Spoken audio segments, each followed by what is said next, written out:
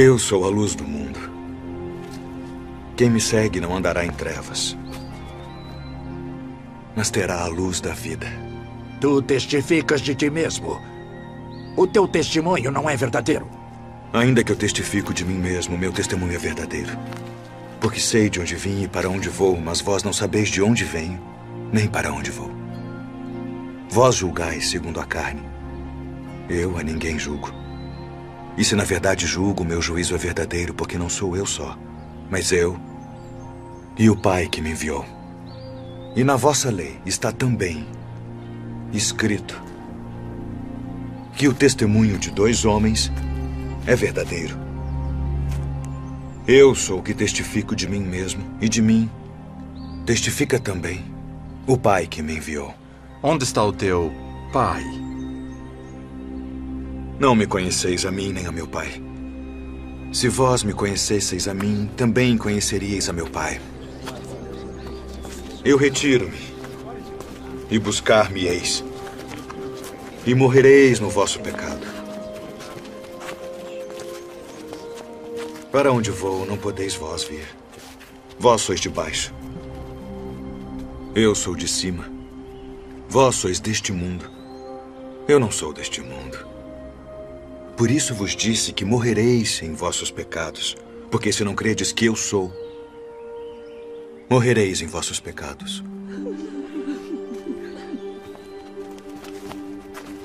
Quem és tu? Isso mesmo que já desde o princípio vos disse. Muito tenho que dizer, julgar de vós, mas aquele que me enviou é verdadeiro. E o que dele tenho ouvido, isso falo ao mundo.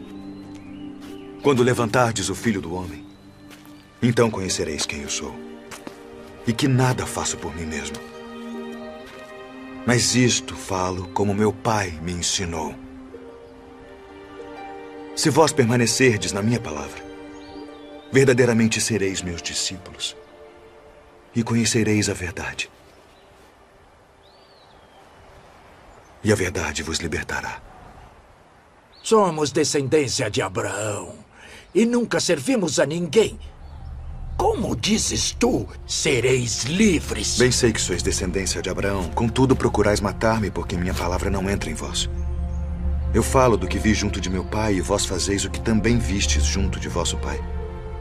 Se fosseis filhos de Abraão, faríeis as obras de Abraão. Mas agora procurais matar-me.